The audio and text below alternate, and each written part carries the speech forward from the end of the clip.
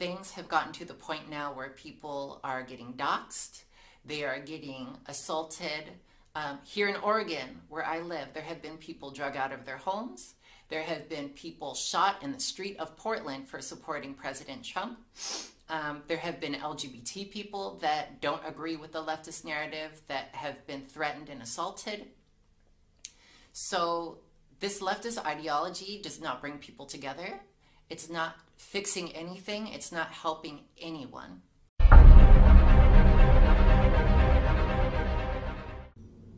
Hello, hi, namaste, and welcome to my walkaway story. Thanks for joining the video.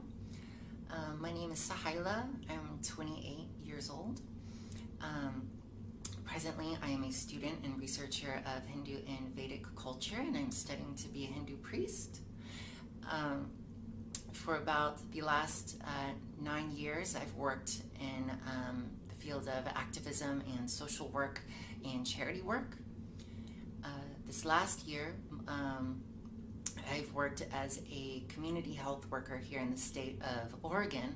And um, prior, I worked for about seven, eight years in San Diego working with LGBT homeless youth and working on issues like uh, gay marriage and banning conversion therapy for minors in the state.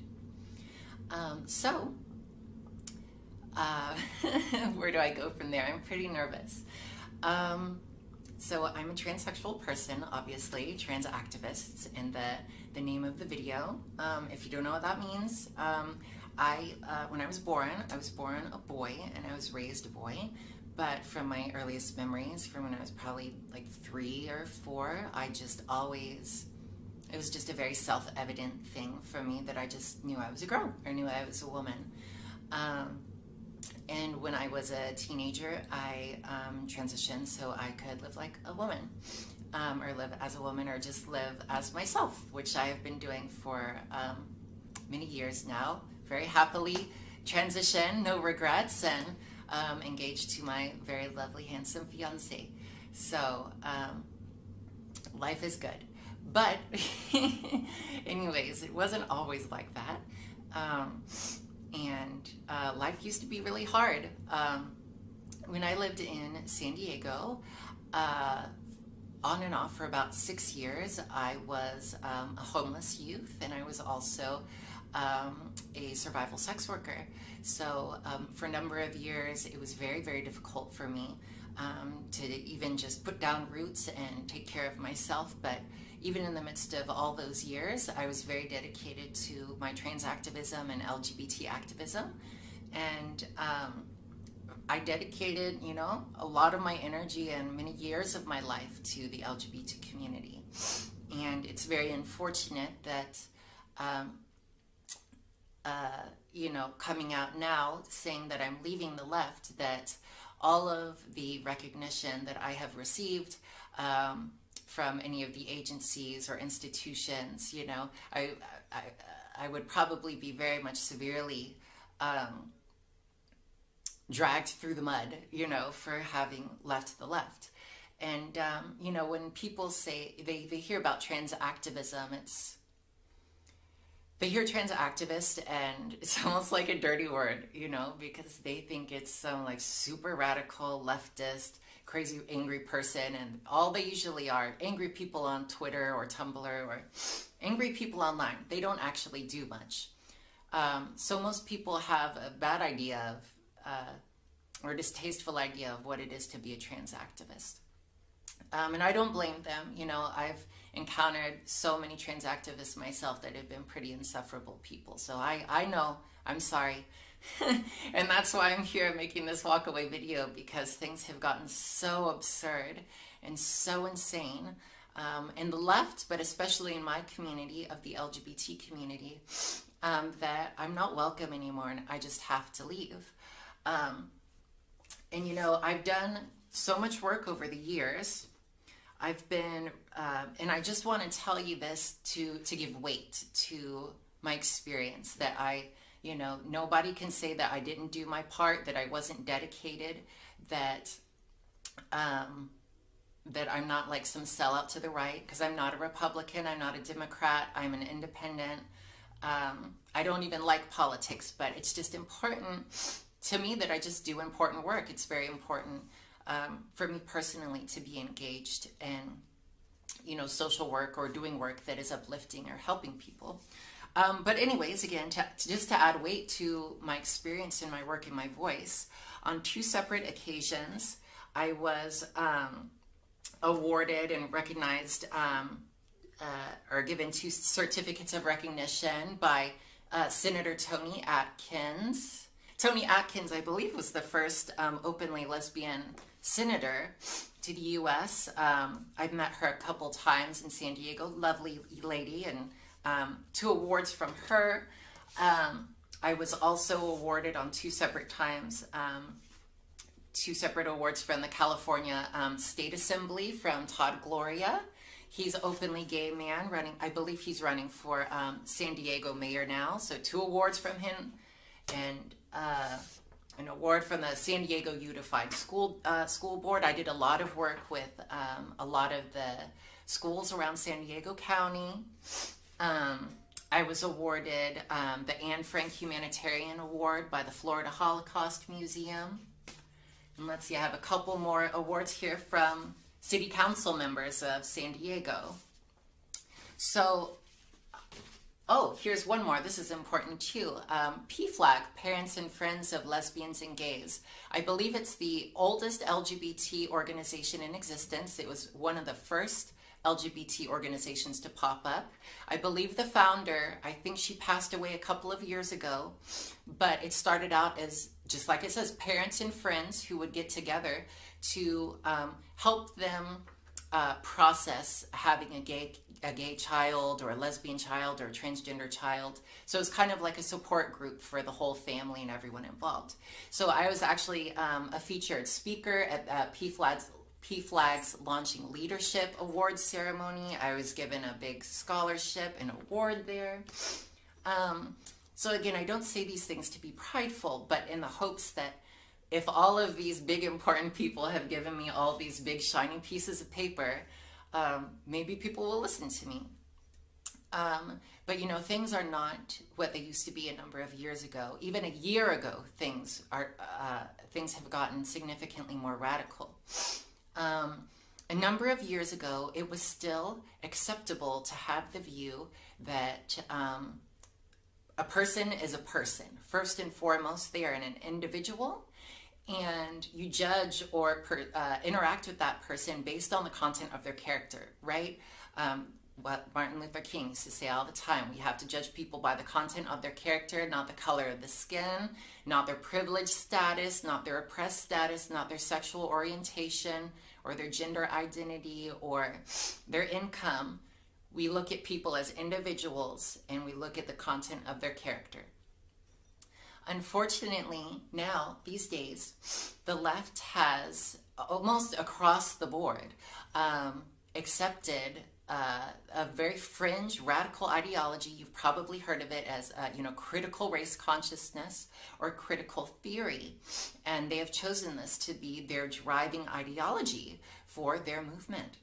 Now, critical consciousness or critical theory is a very dangerous fringe ideology that has its roots back in cultural Marxism back in the day. There's a lot of, you know, uh, lectures and videos, and you can look on YouTube about this. You can go on Google. There's a lot of different resources. But to sum it up, critical consciousness is a way um, to train yourself to see the world. And it claims that it's a liberatory uh, a system. So it any form of oppression that someone is going through, if you apply the critical consciousness lens, you can liberate. You can liberate yourself or liberate others. So critical consciousness or critical theory can be broken up into what I would say three main denominations or three main groups. It's very much like a religion. So just like we can say, for example, uh, Judaism, Christianity, and Islam would all fall, fall under the umbrella of Abrahamism.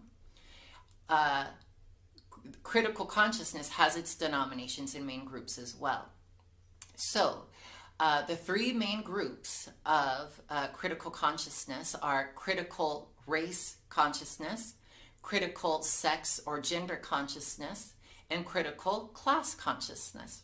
Now, these days, everybody's going crazy over the critical race consciousness. That is the, the strongest denomination, the loudest voice of all the critical consciousness or critical theory. Secondly, would probably be the critical sex consciousness or critical uh, gender consciousness, which is where we get a lot of this new, very radical LGBT philosophies. Uh, um, it used, you know, LGBT just used to be about some people are gay, some people are lesbian, some people are trans. We're born that way, just let us live our lives in peace. These days, it's not about that. It's this radical theory of um, gender as a social construct, and there's all these neo genders and neo pronouns, and sexuality and gender orientation is malleable, and that it's influenced by your environment. Therefore, people just need to unlearn or deconstruct their heteronormative uh, preferences, which is uh, conversion therapy. We see people on the left now, and all of the a lot of non-binary activists and neo-gender activists that are um, claiming that people need to uh, or they can change their sexual orientation, and they should. Uh, that you know, I have seen uh, my gay and lesbian brothers and sisters harassed by these radical trans and non-binary activists. There's uh, bi erasure because they want to get rid of bisexual because bisexual means two and if you're acknowledging there's two genders instead of 500 million then you're being transphobic so the LGBT community is a mess. Let me just tell you, it is a dumpster fire right now. Um, I don't think I don't think you really need to hear hear that from me. You probably know yourself. Um, and then the, the third the third main group of the critical consciousness is the critical class consciousness. We don't hear much about that these days. That's that's a lot of that's like last century, you know, communism and the proletariat and the bourgeoisie and the capitalism and the revolution and these days you get, you know, the Bernie Sanders people, you know, talking about the millionaires and the billionaires and all of that. But for the most part, right now, the left has adopted and promoted critical class and gender and sex consciousness. Now, I'm firmly against this because we are people, we are individuals, we are not our labels. And just because I happen to be um, a transsexual woman, just because I happen to be a Hindu person, just because I happen to be a formerly homeless person, like that doesn't define me. Like those are just descriptors. Like the I, the self, like I am beyond those things. So I need you to see beyond those things instead of just seeing me as some poor, oppressed, victimized little trans person because I'm not, that's not what I am. Um, so my main issue with this critical consciousness when it's dividing up people into different groups and different um, mapping people out on a scale of oppressed and privileged. Um, when you do that, you are you are sacrificing mutual respect because to be able to mutually respect someone and like have an honest conversation or relationship with someone, you have to come on level playing ground and see each other as, as equals. If you're put, placing people as privileged and you're placing people as oppressed, at most, maybe you can get some superficial tolerance, but you'll never have equality and mutual respect. So, for all of the people that are being labeled uh, or identify as, you know, privileged, like a lot of these uh, very guilty white people or guilty rich people or guilty um, like straight people, they they have all of this shame um, and this guilt, and they feel bad for being privileged, and they're up here, and they think all the other people are down here. So this privileged person is not going to be able to have the correct perspective on someone from here, because when you're looking down, you're only going to be able to patronize and tokenize, and at the worst, fetishize. And then if you're down here and you identify as an oppressed person or a victim, everyone up here you're just going to become embittered and resentful of everyone up here. So that's why I think um, what you know what the left used to preach about equality and judging people as an individual and judging them by the content of their character, it levels the playing field instead of mapping people out and weighing all of their oppression points, uh, you know, race oppression points or income oppression points or gender oppression points. Like, it's just ridiculous. Um, so, this is a very divisive uh, ideology. Um, right now, we don't need more division, we need unity. Um, and that's why I wholeheartedly and fully reject this critical consciousness, um, which has infected every element of the left. Um, it's very unfortunate, but things have gotten to the point now where people are getting doxxed, they are getting assaulted. Um, here in Oregon, where I live, there have been people drug out of their homes. There have been people shot in the street of Portland for supporting President Trump. Um, there have been LGBT people that don't agree with the leftist narrative that have been threatened and assaulted. So, this leftist ideology does not bring people together. It's not fixing anything, it's not helping anyone.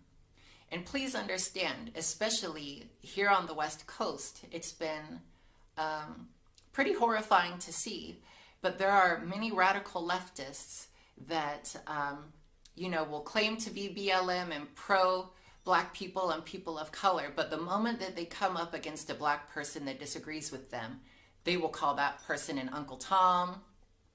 Or if they come up against uh, a gay person that disagrees, they're just, uh, it's internalized homophobia and you're a self hating gay person. Or if you're a transgender person like me and you disagree with them, then it's it's internalized transphobia and you just hate yourself. That's the only reason you disagree. Um, and people are are getting violent here. It's quite scary. Um, people are losing their minds. There is increasingly less and less and less room for uh, nuance and increasingly less um, amounts of patience and compassion that people have for themselves or for others.